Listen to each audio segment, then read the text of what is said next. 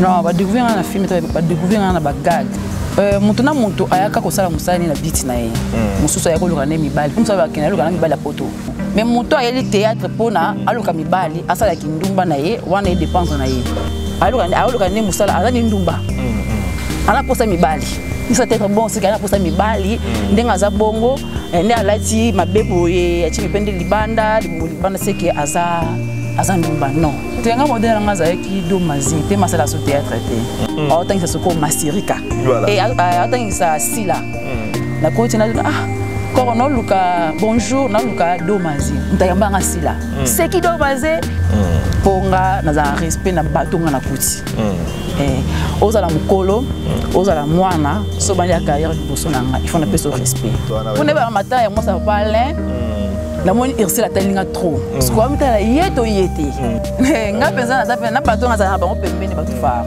oh. moni abengaki ye bobenga ye te mm. ata ozotufe nga mwana nzambe ata otufe ye esimba te eh, temake nayebiki ye nga nayebi na moto naza na ye mpe bana oyo bakoya baparent tozalaka bana ya nzambe parce que oyo na viva nango libanda eza plus pure hmm. mabe ke namona théâtre sikoyo nde naza ah, nana mpe naza reproche te eh.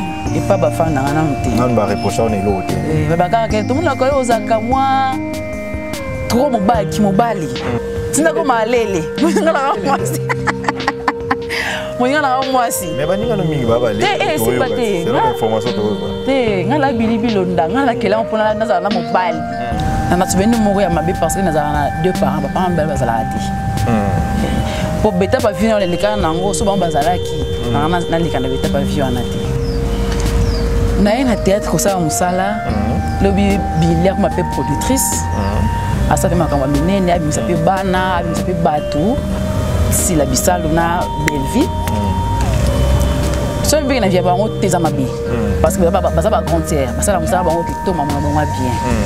namonaka ah un jour nga mpe nakoma lokola bango to ou bien nakoleka mpe bango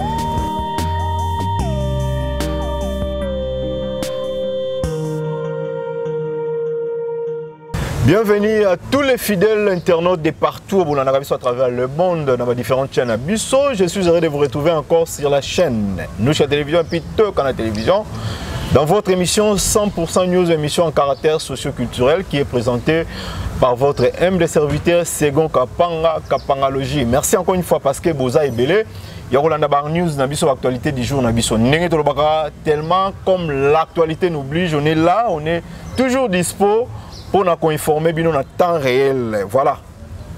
Tous en moko ya ba comédienne na biso to ya mbilelo pour que to betana ye masolo et ya musala ya théâtre parce que omoni lelo na théâtre c'est bien komona pe ba nouveau venu au bazoya ba osala fierté ya musala ngo ya théâtre Et nasepelaka komona bamama ba mama na biso alinga bamama wana tellement na fréquentaka bango mingi bamama boli bamama na biso euh, bipendu en tout cas baza bamama moko bazala motema malamu mpo na kopesa chance bongo na bana na bango mpe ya basi oyo baza kolanda lokolo na bango raison pour laquelle lelo oyo tomoni mpe bayaya ebele bayaya na bango ebele bafie ebele oyo lelo quand même baosala mosala yango bazosala toujours fierité ya mosala ya théâtre bazolanda toujours lokolo ya bamama na bango yango lelo toza na sœur moko boye mikolo azobrille mpenza azosala mosala na ye tellement bien na monde ya bango ya mosala yango ya théâtre nde lelo aza invité du jour na biso tosola na ye mwa makambo ebele epi toyeba carrière na ye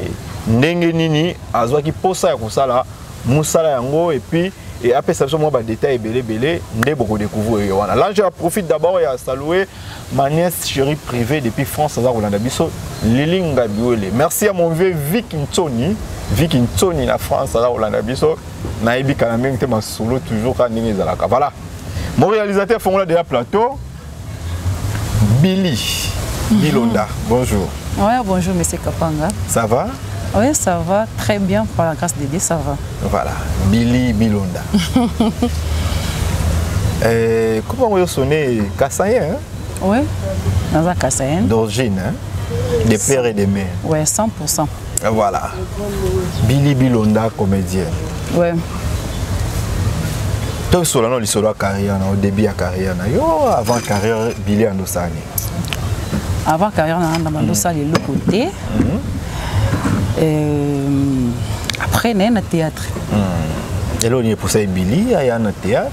basala théâtre avant nanosala théâtre mm. vraiment te mais mm. sœur na ngai banosala théâtre centre mm. kala naye ba 2008 je ne trompe pas akosala pa chiko pololo oyo akufa nalobi ke bilika etika ngai na tournage na biso ya théâtre na bino naketika ye peut-être nakomi polo amonanga Mm. o faut jouer na film na nga oyo nga bi ah na ko jouer te na ko kate po na no seka na pamba pamba mm. na meka mesimba te mm. et il est comme ba temps ba 2009 ou 10 comme ça nde totomaka na bashiko yango totambola mpe mabengi staff tokei na bino na na filme nao tojoue na alpha bokole honorable boki kotika na filme obo naomi nde tokenda kotika ye nde sika alpha bokole amonanga mm. ba jouer film ya Simekoli si je me mm. trompe pas mm. ndese ayebisi Chichi Kabi ah moi une fois jouer na film nanga oyo mm. ayebisi ah, honorable Léon na solo na yeti nayebisi eh, nakoka na nga te na joie na nga te nakoka biloko te mm. abi te naposa elongi no na filme na nga oyo mm. oh, naloba sikoyo ndenge nini abi oloba mm. nde nakuta bamasirika mm. euh, sere na ngai mpe akufa mpe akenda mm. badomaze basila ba ursile mm. bato ebele nakutaka wana bavidele bato ebele franchement nakota neki ezalaki baekiri bana maki na bafi ya motu likolo badomaze nyonso ezali neki ya badomaze nde premier film nasala wana wana ezali banini wana eza entre ba début 2010 okay. ou bien fin 2009 to début 2010 bana ya bongo nde aye obenganga sikoyo na filme ya malewa site fin bina mpe kaka ngai na ursile na sila e na siara mpe akenda mpe poto nde depuis wana mpe natika mpe na mwana na ngai mpe lisusu mpe te naye koya sikoyo ba 2019 ntango shiko akufi tani naye matanga shiko totali na fani katalea je te salisa fani talaka yo abi eh bili osala succès oyebaka ngai bi nayebi mpo na génération wana bino ozalaki mwa moke papa ya bango nyonso te hmm. so ozalaki kilelo mbe ozalaki bino mosusu hmm. yo moko osambo yanga bi te nga mona yebi eloko na osala mpe eloko na oluka hmm. nayebi abizongela théâtre eh, nazongela théâtre nano na répéta na théâtre te bazwanga mpe kaka bongo bongo kaka nakozongela akoma bi te ezongela théâtre soki yango ozongela théâtre yaka na mouvement ya eza mayonnaise nafondeli mm. na mayo eh? mm. abi ah mayo ayebisi nga tourne filme ya hommage ya pululu si je me trompe pas filme basalaka nazala mm. besoin yo ozala parce que yo ozalaki histoire pa pululu ofandana na shiko mingi otamboli na ye il faut ozala na film oyo nga bi d'accord mpe nga numero na yo napesi ye numero na nga nga mpe nazwi numero na ye te nakosala mpe bafere na nga nasomba babiloko na nga koteka mm, mm. nateki na mwanda nateki na lubumbashi nta matanga esili nde na voyage na nga nakenda mm-hmm. amekaka kobenga na whatsapp non président mayo na na kini te na na point noir mm. abi ah il fallait ozala na film oyo esala bien nde nakenda na nga mpe eh, naozonga susu na kina 2020 ba 2021 ah, namoni sikoyo kini yango biloko eh, naye na kini mm. biloko naosala kaka namoni okaka terre a terre ah, na kini naosala nini mm. tozalaka na fani fani ayesi ngabi ah mama zongela théâtre ngabi ah nakoka te so naye ozwa courage na kopi na moko magashu epe aza journaliste mpe mm, ya internet ayesi nga ah, mwana mwana mère sa théâtre ko elongi na oyo oh, faux théâtre wana elongi kitoko ngabi eh théâtre yango kaka fo elongi kitoko hmm, donc il faut ozala quand même euh, télégénique eh. hmm? mamu nde ozwi bastand boye namoni okokanga ma bastand oyo te hmm. sala théâtre nga aza pa caleb mais mikolo na pemi nano yano pa caleb ngabi eh nokokana ngai te eh, nazoki yango kaka likolo likolo mitango mwana afandi nabi te fansaka théâtre hmm. nde nakomeli présent mayo na facebook euh, atindi ngai numéro na ye nakomeli apesi ngai jour ya répétition hmm. na nde bapesaka mpo banda mosala yango na ye mpe napesi nabanda mosala na ngai nabanda mosala na ngai na 2021 awa entre ba fin mars 2021 voilà entre ba fin euh, ya 2021 mais komona déjà histoire na yo ntango obeteli biso c'est-à-dire ozwi vraiment tente ya théâtre ovandi na yo na bata théâtre omekaki oyo osalaki wana olobi ozali komeka omeka obinaka na malewa site fin na sima ekoli mais ezali kaka babenge bafigiraki yo mais figurante mais na jouaki parce que eh, nasala batableau ebele na sima ekoli asala ata ba ba sept tableau bongo te ok osali ba sept tableau mais ozwaki ngo mpena considération te après obungi na yo mais nala nde oye mpena osimposer na makambo ya théâtre oui. depuis osimposer na makambo ya théâtre ça fait combien de mois olobi euh... ça déjà une année in, trois voilà, mois une année voilà euh, une, une année trois mois oui ezo évolue ndenge oui namoni ça va ça va quand même ojuge bon tika bamakambo na yo bafaire na yo théâtre tout et puis lelo osimposer na monde ya théâtre est ce que ozomona yango par rapport ndenge onde komona yango libanda na ndenge oza na kati omona yango ndenge nini ojuge yango ndenge nini nde nazalaki libanda bande otala yango na mosika na ndenge yo moko okomi quand même na kati ya masolo yango ozo trouve en comment ah mais ça va quand même ça va mm. nzambe aosungaka male male me mbangu mbangu mpema voilà mbangu mbangu mpema film nini oyo badecouvrir bili euh, ya liboso oyo esali ke bato libanda na poto badecouvrir yo c'était quel film non badecouvrir nga na film te badecouvrir nga na bagag naye bagage ya liboso nasalaki na nakotanga bachaîne non problème te vas-y oza alaise eh, nasalaki na gage ya liboso nasalaki nasalaki na congo america hmm. gage na ngai liboso hmm. na masolo tv hmm. nde se badouvraka na gage wana tosala tozwaki ya saint valentin voilà tozwaki nga mirma mirma mobani ezalaki modero atrompe mm. akimi akelinga dj gulu gaga mm, mm, eske badécouvrir nga siko nde yango wana nayeke bango mobenga ngai eh, nazo numero no boye eh. ti nini evolue ti lelo tomona mpe pembeni na naomi barcelone Ouais. Euh, kuna ojua film ezali gag ou comment te kuna film mama formidable balele mm. mm. fort mm.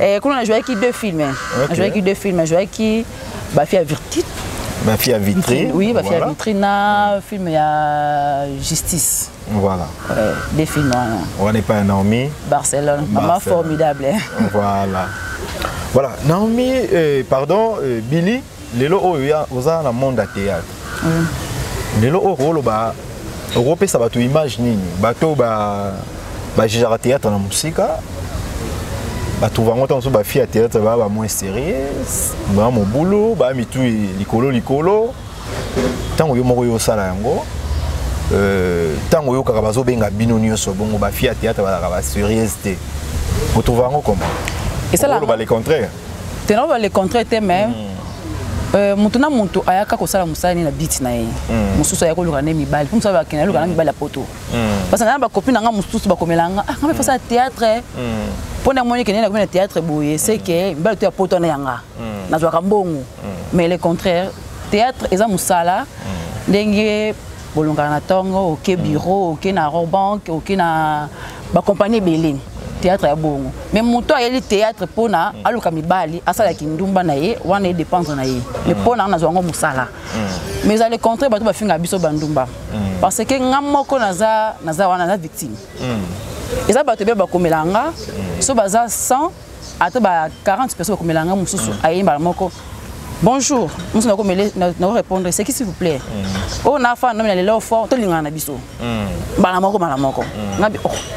c'est quoi sérieux te bato mm. ebele presque mm. c'est à dire c'est que ya moni ke fille ya théâtre eh? mm, mm. ayoluka nde mosala aza ni ndumba mm, mm. ana mposa mibali isa tete bon c'est que ana mposa mibali mm. ndenge aza bongo eh, nde alati mabe boye atimi mpe nde libanda libumu libanda seke aza aza ndumba non hmm. ta bandumba te tozalaka tozalaka basi vraiment basi mpenza ke mobali soki alingi yo hmm. atye yo na ndako hmm. oyo mpenza mama oyo mpenza femme mpenza otanga mpenza mwasi ya motu mais bandonasi oyo bayaka théâtre mpona basala babétise na bango babilela moko epola besa malala ebele c'est ça non oui. eh, mais tout le monde aza bongo te ok eh, tout le monde aza bongo te maintenant eh, billy ntango tozosala différence wana lelo okoloba ke il y a des personnes oyo lelo bastabiliza vie na bango na mosala oyo ya théâtre oui, baza, baza. bazali oui, oui. oyo oh, quand même baza mpe lelo kokoloba ke non naza mpe image donc naza euh, ko, na joua to na jouaka mais naza ko naa na référence ya motu moko boye oui. ye tolobaka modèle soki tolobi idole toke nango mwa plus loin mais modèle Mhm. naza modèle ya boye boye boye boye parmi bamodèle na yo lelo na théâtre oyo lelo omoni ke baseretova basala mosala na bango bien oyo epesaka yo mpe elengi ya kosala mosala yango okotanga bakombo na bango te nga modèle nanga azalaki do mazi te masala so théâtre te hmm, do mazi eh, ya do ah. ye na bana olingi makasi ejoueli na ye ndenge azalaka ndenge azalaki tout ça nde mpe wana mwa batre hmm.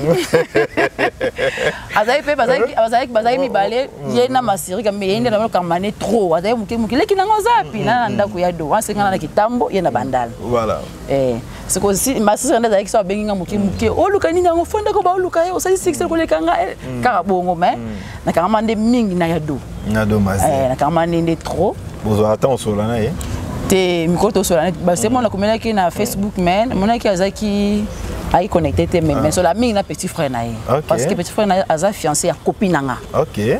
voilà esalaka nini ntango ye oembrasse monde ya théâtre baoblige ba ovi aspect na yo ne bataki personnage na yo profil na yo basepe no joue théâtre boye okuta baene na yo na mosala yango ndenge otangi nkombo badomaze ba, ba, ba, ba, ba, euh, pauvre masirika bazalaki ebele otangi bakombo ya namoni basila basiara oyo okuta na bango na scène oyokaka kaka omoni bango esalaki yo kobanga te esalaki yo nini eh, esalaki yo kobanga ko nayokaki mwa mm.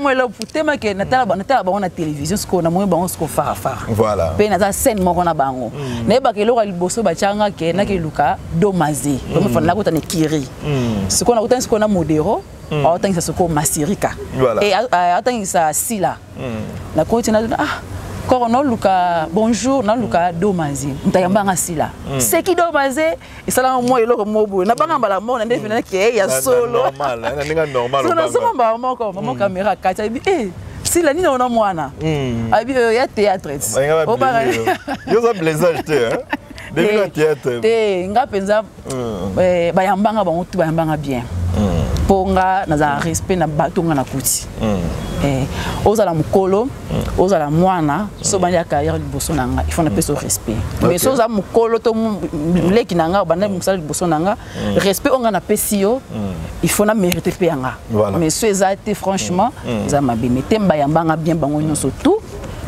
mingi bayebaka nga lisusu te hmm. posele nazali mwa moke so basere na ata ba 17 ans eh, ba 17 ans basere bayeba kosu te bapeshanga eh, mpona ebaka matanga ya mwasi ya papa alain hmm. namoni ursule atali nga trop hmm. sikoya mitala ye to ye te eh, sikoyo nana pusana te mai bazali na bato ebele wana mpo nga azala nanga bongo Okay. Eh, nga aza soki sœur na nga nayebi na yeba mm. mwa kala tomonani mm. susu na monio na otuna oyebanga lisusu te mm. nga bina nga azalaki nazala bongo voilà. eh. sans complexe eh, nga azala mpena bongo voilà. c'est ça Billy, oui, dans le monde du théâtre, vous jouez déjà, c'est bon, bah, c'est Pelanayo, mais par rapport à Yomo, quand on est là, carrière ndenge ezokende ozojuge yango ndenge nini par rapport ya ndenge théâtre ezokende ndenge carrière na yo ozomona ndenge ezoévolue ozojuge yango ndenge nini mpo na bato basepelaka na yo epuis na ngambo mosusu bato batalaka yo babengaka yo ba, ba remarque nini oyo bazongiselaka yo na part mosusu euh, mm. kare na ngai kende yango bien mm. parce que na mwana nzambe okay. tifo nazala na kondima ke eke mm. bien mm. bazo étouffe carrière na yo te bitumba eza te na carrière na yo bitumba ozanga te eh, nga mpenza naza mpe na bato nazala na bango pembeni bato mm. far oh. moni abengaki ye bobenga ye te yesu moto na ngai moko abisa ah bobenge ye te bobenge mingi bwakoma fiere akoma lolendo mais teme siko bato babengaka wana bazongela ngai ah tomoni moto nomo abengi bisa biso tobenga yo te sitemaki e ata ozotufe nga mwana nzambe ata otufe esimba te te nga na mwana nzambe naye na monde oyo naza na mambikudi moko te naza na motu moko bota esimbaka nga mpo nazala nazalaka na motu moko abengaki le grand prêtre père leve nzambe leve nzambe ti na ba émission boyo no nga mwana nzambe boye na beme kuna libanda kuna toyebi abatama kote moko boye ayenda kote moko basokolaka ye azala na singa loke mpo banzambe baza ebele otanga nzambe me banzambe mpe bayebi biso toza toza hmm. naza 100 moluba hmm. mpe naza mokua kasanzu hmm. ekolo na biso tosimbaka kisi te ok eh, so osimbi kisi omo mpenza okei voilà ya mpe liloba okoko na biso aloba oyo akosimba kisi na famille oyo akokende Ah. neti nga nabengama bakombo nyonso to hmm. na entourage na ngai nyonso avakuna sala no théâtre hmm. eh, tobotama na chance nabotama na chance mpe nazalaka na chance nga benga bakombo nyonso babenganga moto bakisi babenganga sirene babenga makambo nyonso tout hmm. nde nazala awa temeke nayebi ki ye nga nayebi na moto naza na ye mpe hmm. bana oyo bakoya baparent tozalaka hmm. bana ya nzambe eh, nzambe aprotegeaka biso ata mabe ye hmm. ata obwakelaka maladi na nzoto me motema na moyo osimba yango eza te toza bana mpena ya nzambe mpena ki aprotegeaka biso so naa na ntango wana te kiaka nganga mpo aprotege nga mpo carrière ya vie nanga nayebi ndenge natamboli bakonga kote nango na vie c'est na théâtre te mpo ekomisa nga na ntango moko boye parce que na viva nango libanda eza plus pure hmm. mabe ke na monde ya théâtre sikoyo nde naza okay. ozoteya bato anguise ya makambo okutana nango na vi na oui oteyaka bato déjà oza chance wana eh, obetelaka mpe bato lisolo déjà tokoma place wana siko bato bareprochako nini bato bareprochako nini ntango baotala yo baomona wana bascène baoreproche na nini ah, nana mpe naza reproche te eh. epa bafandanga nanu te nanu bareprocha wana eloko te eh, babakaka kende tomonaka yo ozalaka mwa trop mobali kimobali mm. eh? mm. zala mpe na mwasi wana mpe nayebi ke eh, nazalaka vraimen bongo wana nga mona yebi montréal aseki kutu kota azali voilà nasilika mm. mbala mwasi oyo likambo mm. mm. nasilika mbala moko me nafanda na kanda te ok eh, mm. nakosilika mbala moko mm. me kende fanda na kanda pendant 30 minutes mm, mm. une heure de temps franchement na bongo te ozalaka bongo te mm. voilà lelo oyo ntango euh, bato bazojuge azoloba ozalaka trop kandwa trop mobali boye boye boye bato bayebi ke kilesibienne ezo régner trop na milieu ya théâtre ouais. kilesibienne Mm -hmm. est ce que bili mpe akozala te ke ye mpe asambrasa monde wana deya akoma na ye lele mais amaska bato kaka omona lobilobi et c'est éclaté yebani jamais yoko ozalele te jamais eh oh.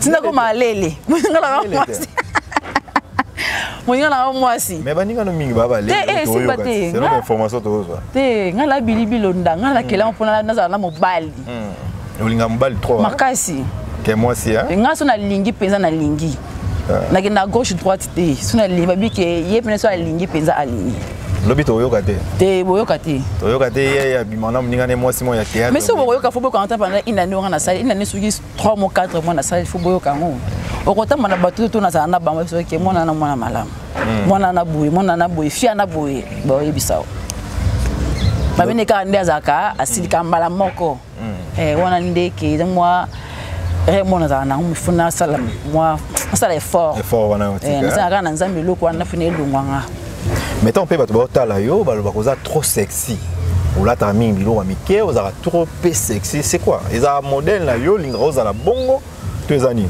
bili sexy ozalaka trop sexy bato bajija ko batraite yango mwa trop sexy ah bon ezalaka nde yo moko osanta yango te te se na ochange yo moko osantaka te ke na bascene na yo eza exigence ya barole ojwaka yo moko mizalaka ndenge olingaka ozala toujours bongo te role mosusu esengaka ke il faut olata bongo mm. neti bafi ya vitrine wana mm. eh, nami alobaki barcelone eh, mm. alobaki ah, bili il faut na biloko moko boye ya sexi makasi parce que tojoue bandumba vitrine hmm.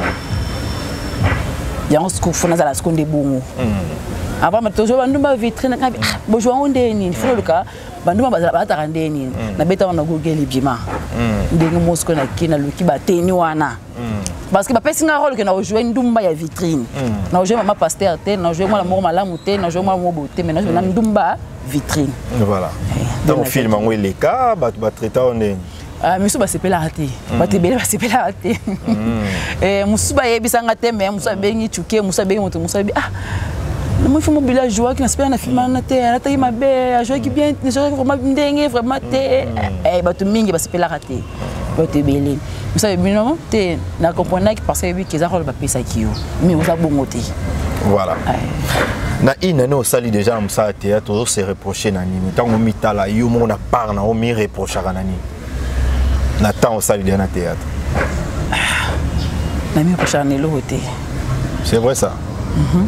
yo moko ovanda kotalaka baerreur eza te ndenge osala mosala na yo na part na yo otrouvaka baerreur te naamona vraiment berere te po mm. eh, soki moto abenga na tournage nakenda nanga tournage nanga avant mm. so abenga mosusu 9 heure 30 mosusu akoma mosusu 10 heure juste mosusu mwa ndambo ya heure ya retard ye mosusu na rep na biso ye mosusu nakokende boye nasengi nake tournage bakokosa biso akoboya menake parce que nako nakoti da na monde yango seli obengaka bili nanga tournage moko boye fo ojoue na tournage na ngai na soma alobi ke kokende te so na ye te otambusa nsango mabe ti ye babengaki ayaka te soki fasala effort mpona ya na tournage na yango emusukoza sabi ah achete ti parce que akomi nzonzingere mpa na ye sikoabulaka bongo asayebi te ke abimisi nga mpo bato bakoma kobenga nga ayebi yango te donc lelo toloba bili mayo nde moto ya mayonnaise nde moto ya bimisi yo eh, posa na nga aza pont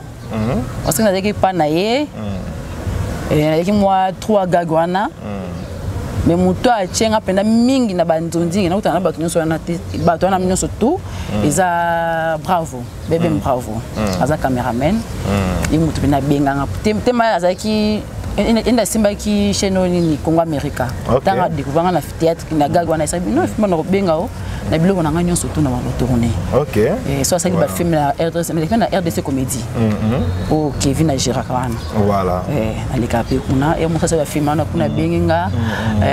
eh, abenga mpe na chaine filme chaine oyo nini eh, canal officiel voilà eh. mais lelo osala mpe bien bamona yo mpe quand même na couleur mosusu esalako bien lobi lobi babenga yo bato badécouvrir bili na couleur mosusu oui couleur mosusu couleur nini couleur mosusu bamoni trop mpe filme bamoni yo mpe mwa joue mama pasteur moko boye aza mobali moko boye filme bande bande eti suka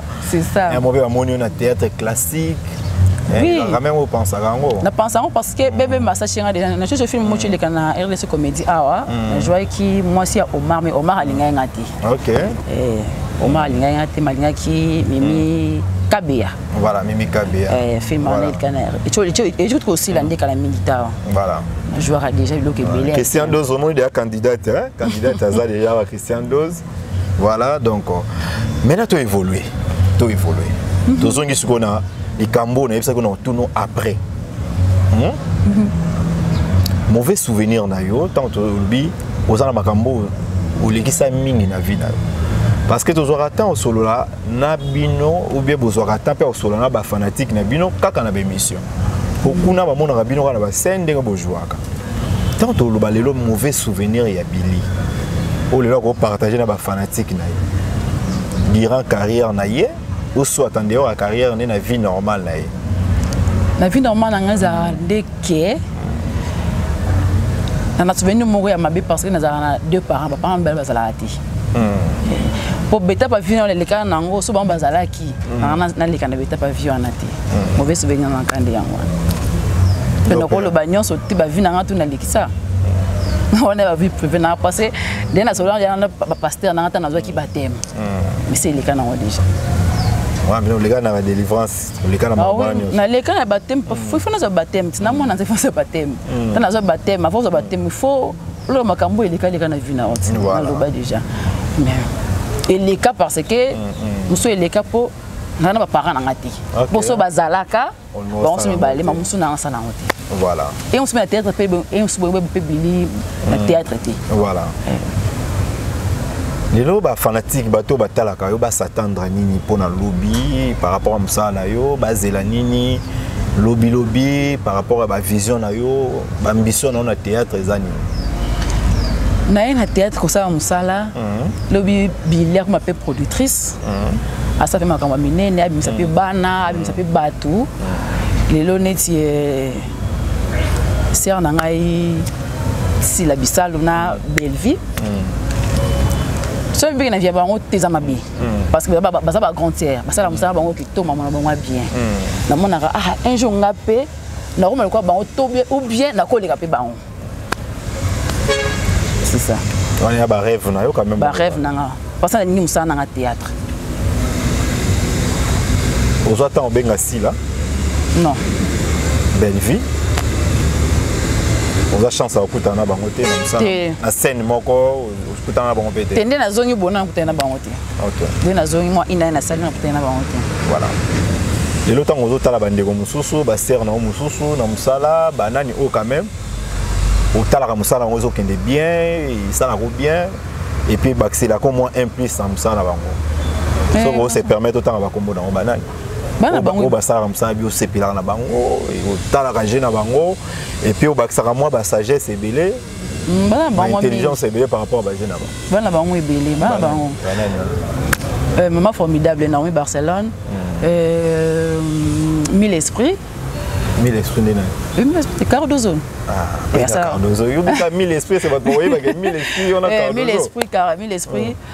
Cardozo asalaka mosala ne kitoko sila bisala asala mosala ne kitoko princesse asala mosala ne bien Prisca asala mosala ne bien Prisca nani kanuship ouais la fille Prisca ok nani mosusu Davina asala mosala ne bien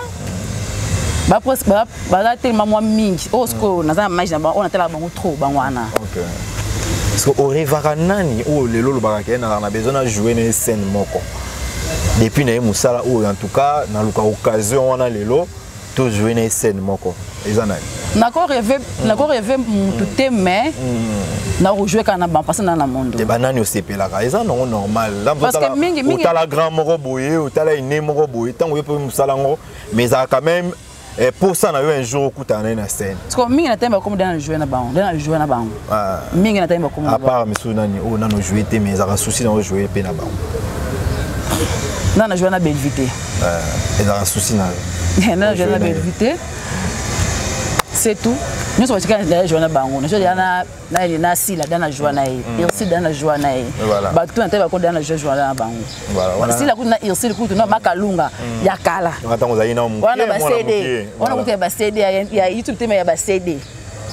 oyo oyo sikoyo ya sikoyo nde nde ya youtube nde nde na jeu na bango voilà surtout nani cardozo na na hmm. barcelone hmm. na princesse najoa na bango trop eh, bango natona na bango trop bafilme ebelesurtout mingi na bafilme hmm. mingi naomi barcelone na princesse dozo filme na bagage Okay. Le kutu ya kutaki ba kutaki dozo. Na kutaki bino dozo donc bozaki wana. Eh na mami de moi même. Mm. mami de moi même Mirma Baembe la mm. canon.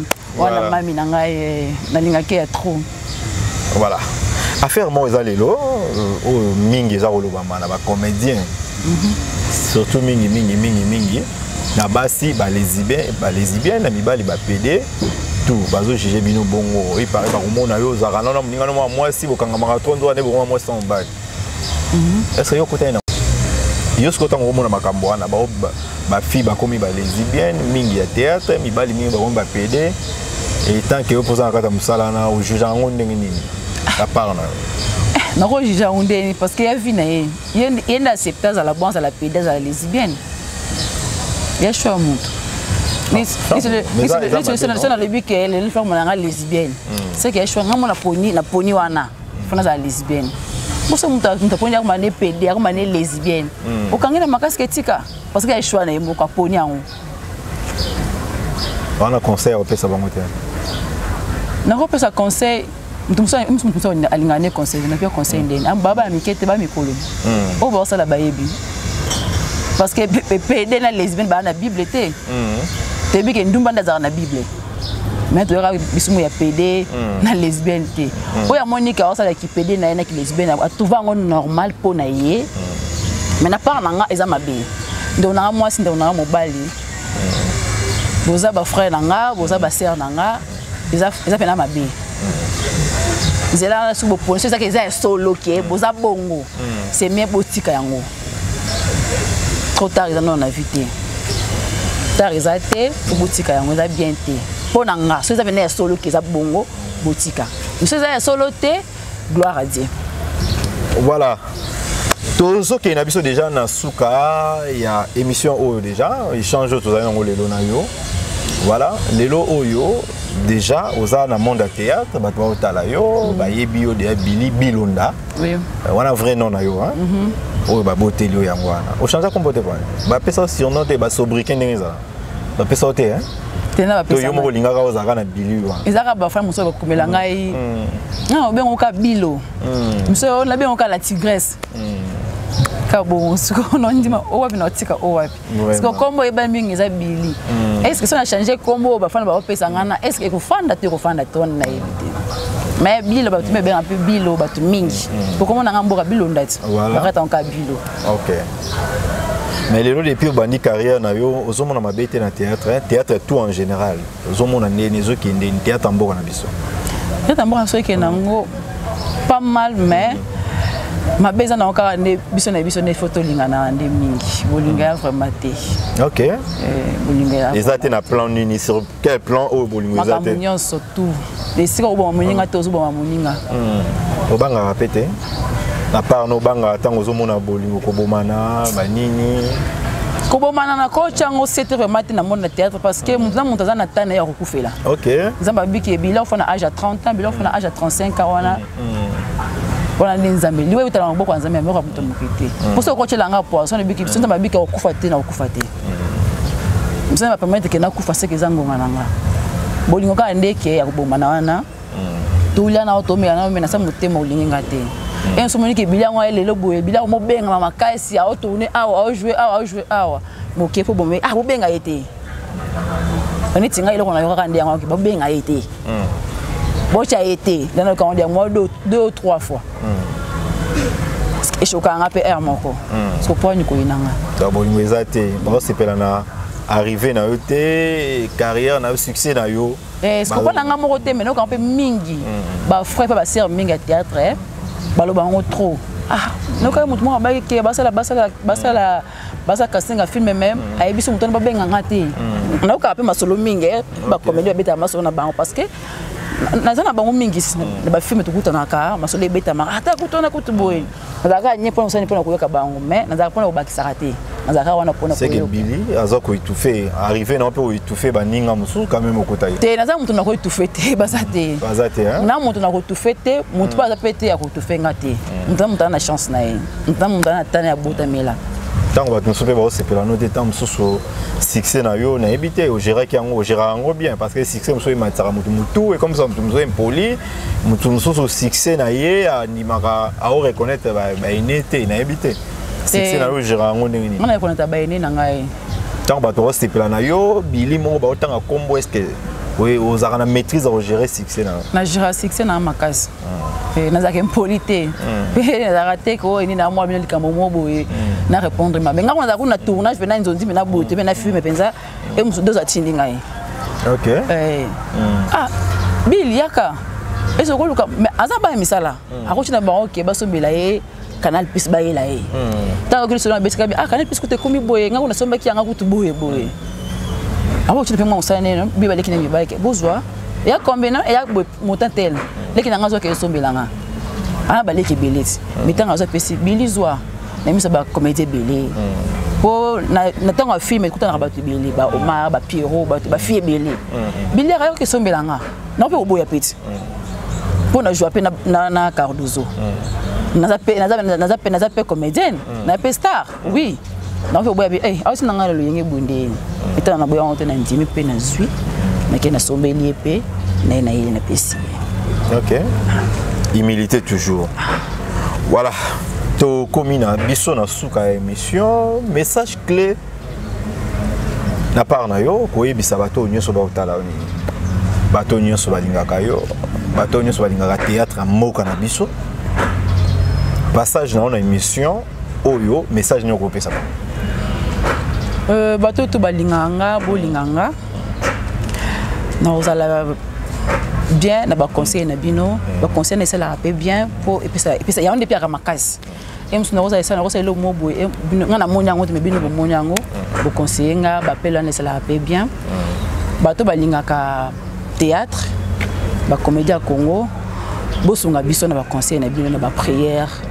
na makambo ebele ebele toza bandeko na bino bafrère na bino baleki na bino bayaya na bino bapuyare na bino baconseil na bino nde ekosala ke tozala makasi mpe tozala na ini na bolingo bili marie non mère des enfants non ok euh, plat préféré ya bili eza nini plat préféré na ngai ezalaka fufu pondu na ndakala ah fufu na punda ndaka ah wana ba kasayen voilà lelo mobali moko amonani ya bia bala bili a exige atika okata carrière na yo mosala est ce que ekoleka ah, ezala mwa ezala mwa mpasi mpo toza bandeko ebele mibale batika bango hmm. ketika théâtre na obalo na basala yango mpe te soki olingi nga ke okobala nga natika mosala na nga c'est que